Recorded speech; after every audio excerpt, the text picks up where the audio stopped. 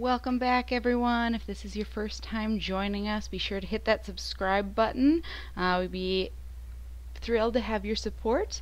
Uh, otherwise, we'll go ahead and get started with learning how to crochet.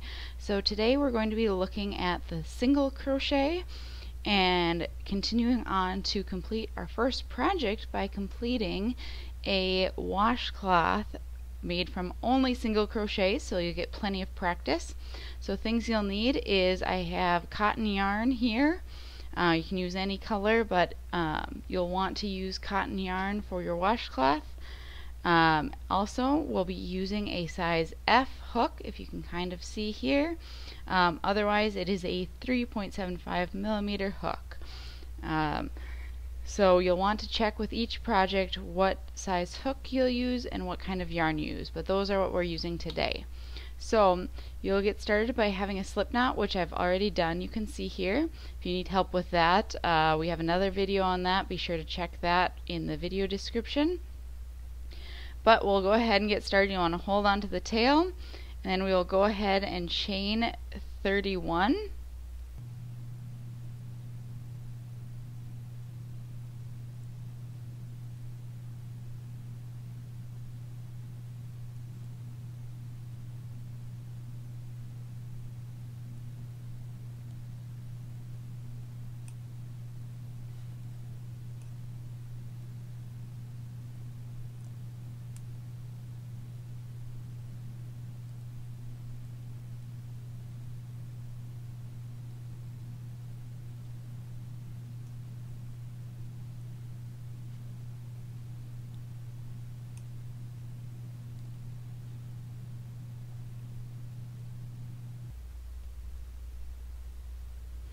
So once you've chained that, it should be approximately six or seven inches long. We're a little zoomed in here so it takes basically the whole camera length. Uh, so once you have that now, we can go ahead and begin our single crochets. So you can kind of see each one of these chains in here. So we're going to go ahead and not in this first one but in the second one from the hook you're going to go ahead and put your hook through that top loop and yarn over and then go ahead and pull that through. It looks like I went through two loops there. So we'll try again. Go through the top loop here yarn over and pull through once you have that, yarn over again and pull through both stitches. And if you pull tighter, you can see it's a little more difficult to do. So we'll continue doing that in each one of these stitches, so it'll give you plenty of practice. So we'll go ahead and go into the next stitch here. So we have two loops on there. Yarn over and pull through. Now yarn over again and pull through both of those stitches. So we'll practice one more and then we'll just keep going through the end of the row. So we'll go through the top of the chain, yarn over, pull through, yarn over again, and pull through both. Now, in order to continue this, we will need to continue through the rest of doing single crochets through the rest of the chain. Um, so we'll go ahead and do that now.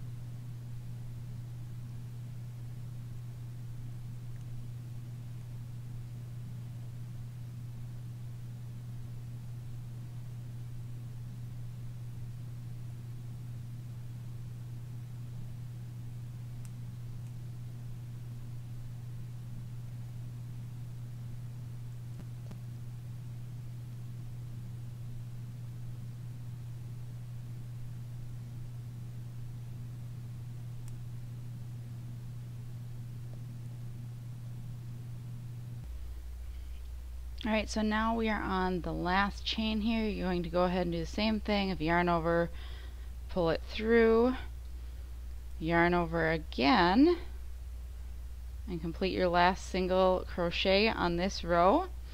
You can see we have a fairly uniform row here. Um, and one thing to keep in mind is cotton yarn seems to be more finicky than a lot of others. Um, you could maybe see in there that it gets a little bit stringier than um, most other yarns are better woven together, whereas this one you can kind of see it come apart as you're crocheting. Um, so good news is you finished the hardest row out of all of them. Uh, the first row is harder to get started, especially with this yarn that kind of unravels. But once you've done that, um, you should have 30 stitches on here now. Um, and remember, we skipped the first one over here, uh, so that's where we lost one. Now, to continue, we'll want to chain one. Let's go ahead and pull that through. And now you're actually going to flip the whole thing over. So now you're back on the right side and we will go back through again. So we chained one and then we will go in here. Now you can see this time when I go through it, I actually go through both so it's almost like there's three loops on there. And I will pull through, yarn over and pull through both. Again, we'll go through, you can kind of see these top two, we're going to go under that, yarn over, pull through, yarn over, pull through. That's two. So we'll continue to do this for 30 stitches or 28 more. Here's three.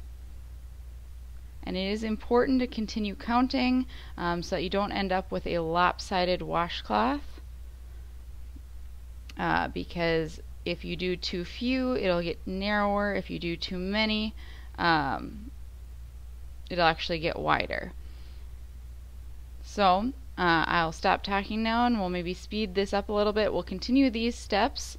Um, so after you get to the end of this row, you'll chain one again, turn your work, and single crochet 30 across.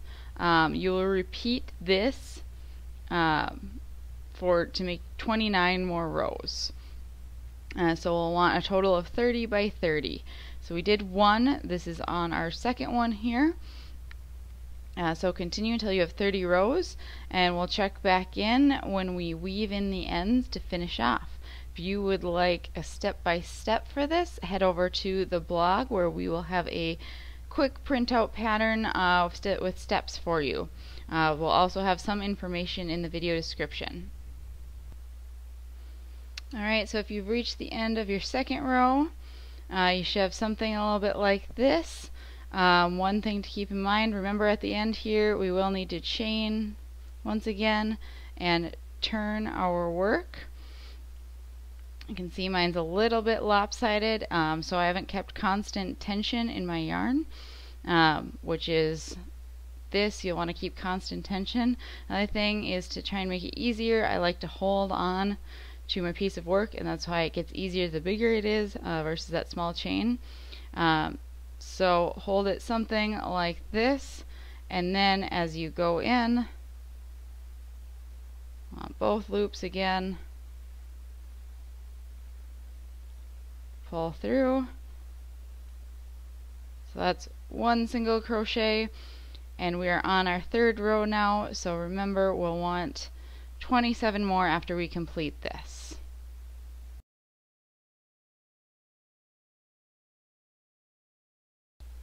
So if you ever do lose count of your stitches, you can easily get back on track to count how many you are. You can see there's little loops at the top here. So that's one, two, three, four, five, six, seven, eight, nine, ten. Um, and you can double check all the way to the end. Make sure you're still at 30. Um, so this is approximately 12 rows in. Um, so you can kind of get the idea. You can see if it's square so far. If you count 1, 2, 3, 4, 5, 6, 7, 8, 9, 10, 11, 12. Um, so, so far that's looking fairly square, which means that uh, my tension and my gauges are right. Um, so we're going to go ahead and keep going for the last 18 rows here and we'll check back in to finish this off. Alright guys, just checking back in. We have two more rows to go on this. You can kind of see where we're at. I can't zoom out much more with this camera. We'll go ahead and finish those last two rows and finish up our first project. So, just as a reminder, this should be row 29.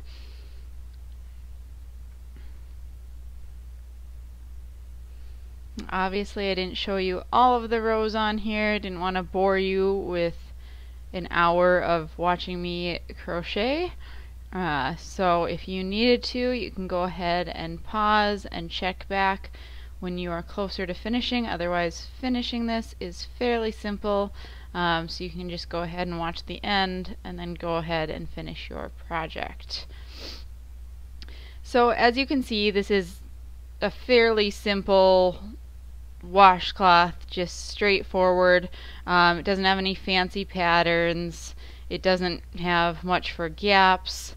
Um, so one way you could kind of spice this one up if you want to continue with the simple stitches versus doing something like a double crochet or um, just combining stitches to create a pattern. Uh, you could go ahead and get the different types of yarn that have multicolor in it. Um, that would kind of spice it up a little bit. Otherwise, we will be looking at learning more stitches going forward. Um, this is just a great project to get you started and gives you lots of practice on the single crochet um, so you will feel comfortable with it as you approach more difficult or more complex projects. I don't know that any of them are get to be too difficult as long as you know your stitches well.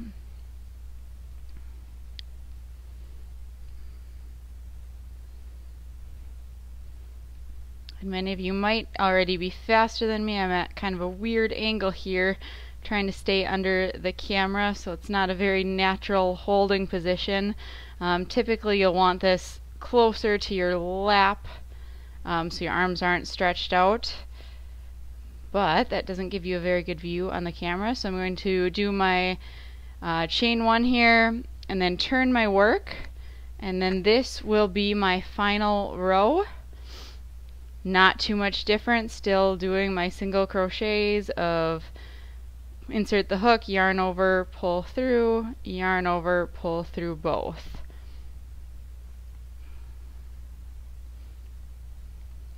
So for beginners this will likely take you between an hour or two um, just depending on how quick you get going uh, learning the stitch.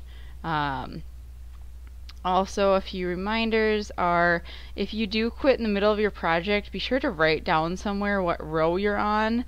Um, I usually try not to quit mid-row because it'd be hard, say if I set it down now, then I would have to count each stitch to figure out where I was. Um, so I would try not to quit mid-row. Um, and realistically, for a shorter project like this, it's ideal if you can finish it all in one sitting but I know a lot of times that's not possible so just make sure you write down on a piece of paper nearby uh, because it's hard to keep that in mind especially if you put it down um, until the next day or maybe even the next week depending on how busy you are. It's good to have notes on that I do find that crocheting is a great way if you're trying to avoid snacking while you're watching movies or TV or something. It's a good activity for your hands. Um, once you get more used to it, it isn't too difficult, especially on a simple project like this, um, to keep track of how many stitches you have. Um, while you're watching a program, obviously some of the more complex designs where you're adding, increasing or decreasing or changing between lots of stitches, um, then it gets it to be a little bit more of a challenge to watch TV at the same time. But you can see here we're nearing, we're on our last two stitches. Uh, last one, so we're going to do our single crochet. And then to finish this, we'll actually need to grab our scissors and cut off our tail here. now once we have this, you'll just want to do kind of a slip stitch of yarn over, pull through, pull the whole tail through, and pull that tight. And then to finish this off, we'll kind of want to go through here and just weave this tail in through so you can either keep going over, over, over, or you can go back and forth. Um, however you like to see, we'll maybe do a little bit of both just to try and make sure that this tail, um, this yarn doesn't come through or come undone while we're using it um, because that will unravel a project. Um, so once you think you have enough of the back and forth or yarn through um, you can go ahead and cut the rest of this off and you are now finished with your first project. Another thing is you can weave in down here as well. Um, so overall we have a fairly square washcloth. Um, that'll make great use either in the bathroom or for a dishcloth. Say for these uh, thicker stitches, this might make a better scrubbing cloth. Uh, but be sure to head over to the blog for a printout of this. And if you haven't already, uh, please take a moment to hit the subscribe button. And thank you so much for joining us today.